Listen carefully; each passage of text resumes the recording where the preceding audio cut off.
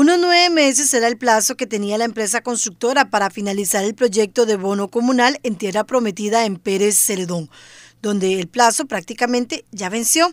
Sin embargo, las obras no se concluyen. ¿Qué pasa?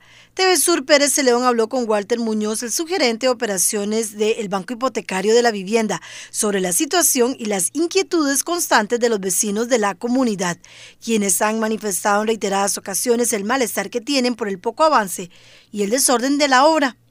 Uno de los temas tratados en reuniones anteriores eran los atrasos en los giros de los recursos por parte de la institución y el funcionario fue claro en que en ese momento está en el día y que ya no hay atrasos. En ese momento estábamos ya resolviendo esos atrasos que habían habido desde el año anterior eh, y ya eso está totalmente solucionado. O sea, en ese momento yo le puedo, decir con certeza de que los pagos están al día, ¿verdad? No hay atrasos al contratista, no hay atrasos en ningún tipo en lo que es la parte de desembolsos.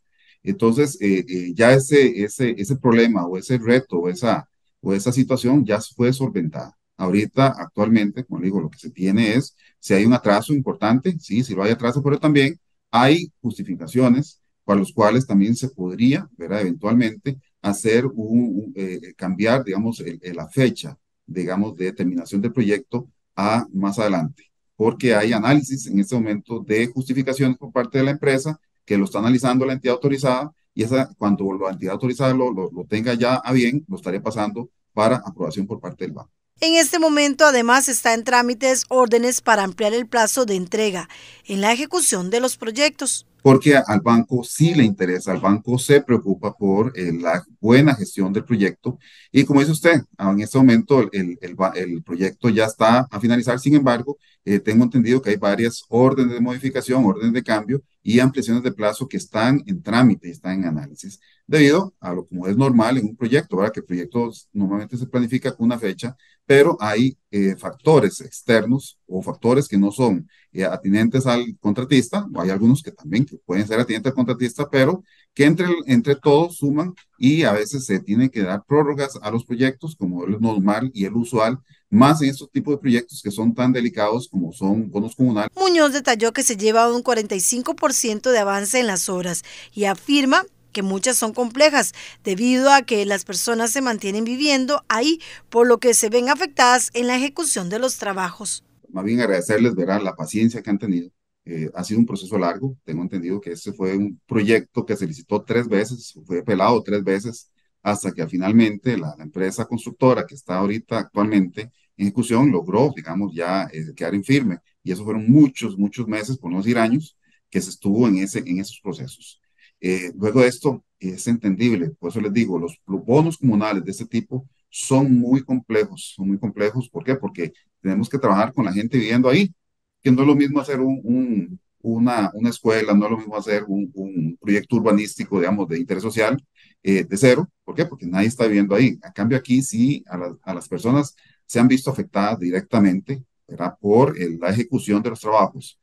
Paciencia es lo que piden para que concluyan las obras y adecuadamente, para lo cual ya se hicieron observaciones al contratista, para que las familias no se vean afectadas, sobre todo en época de lluvias. Eh, ¿Qué les pido yo a, los, a, los, eh, eh, a las personas, a las familias que viven en, Tierra Prometido? Vean, tengan un poquito más de paciencia. Yo sé que ha sido mucho trabajo, yo sé que tal vez no ven ahorita este, los, los, los digamos, el avance que quieren ver, ya todos quieren ver sus calles asfaltadas, eso se va a dar, se va a dar, es un hecho, el, el proyecto está totalmente financiado, el interés del banco es que el proyecto se finalice adecuadamente, que quede bien, que quede bien. Se han estado haciendo observaciones al contratista por su lógica constructiva para que lo mejore, para que no, las familias no estén este, tan este, expuestas a este tipo de situaciones que se da cuando vienen las lluvias, que se le inunda la casa, que se le llena de, de barro, entonces nosotros hemos estado eh, eh, a través de la entidad autorizada solicitando, por favor, que arreglen eso, que mejoren esa logística constructiva y este, ya con esto estamos tratando de ver si estas condiciones mejoran. Por eso es que yo le digo, yo voy a hacerme, eh, voy a hacer un espacio y voy a darme una vuelta de unas 15, 22 días para estar por allá y ir a constatar si estas cosas continúan o si han mejorado de alguna manera. El sugerente de operaciones del Bambi defendió la institución ante las constantes quejas que se tienen en la comunidad por el poco avance del proyecto y confirmó que espera realizar una visita en este mes de agosto. Eh, eh, achacarle la responsabilidad al que presta la plata eh, no tiene sentido, ¿verdad? Hay todo un esquema, ya que así lo establece la ley. Nosotros somos bancos, segundo piso, financiamos el proyecto que nos trae, más de lo que es el bono comunal, es un proyecto que viene más bien del, Ministerio de Vivienda eh, nosotros lo que hacemos es que contratamos a la entidad autorizada para que ella sea la que logre la contratación de la empresa constructora. La entidad autorizada es la responsable directamente del avance técnico del proyecto.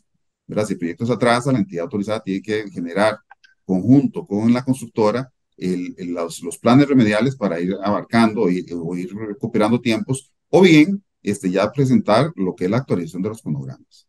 Decir que no se ha avanzado nada, eh, bueno, ahí sí tal vez yo disentiría, digamos, de, las personas que dicen eso, porque ya el proyecto cuenta con un 45% de avance de obras. Estamos a la mitad, si bien es cierto, ya deberíamos estar casi finalizando, pero estamos a la mitad de la ejecución y cuando empieza a haber asfalto, ya cuando ya se tapen las calles, se empiezan a ver asfalto, ya el recarpeteo asfáltico, ahí es donde la gente va a empezar a ver la diferencia. Sin embargo, las actividades previas al asfalto es lo que más conlleva costo, digamos, el gaveteo, lo que son los movimientos de tierra, lo que es la instalación de drenajes, tanto longitudinales como transversales, eh, la construcción de los cordones de caño, la construcción de las aceras, todo eso conlleva mucho trabajo y que ya eso sí hay un avance importante dentro del proyecto. Lo que falta ahorita es terminar de conformar esas, esas capas, este, la base y la subbase que traen la, la calle como tal, antes de empezar a asfaltar. Ya cuando la gente empieza a ver asfalto, van a cambiar completamente su visión de que el proyecto eh, no se ha avanzado nada. Sobre la visita que hicieron funcionarios de la auditoría del Bambi, dijo que lo desconocía, pero que estarán pendientes del informe respectivo.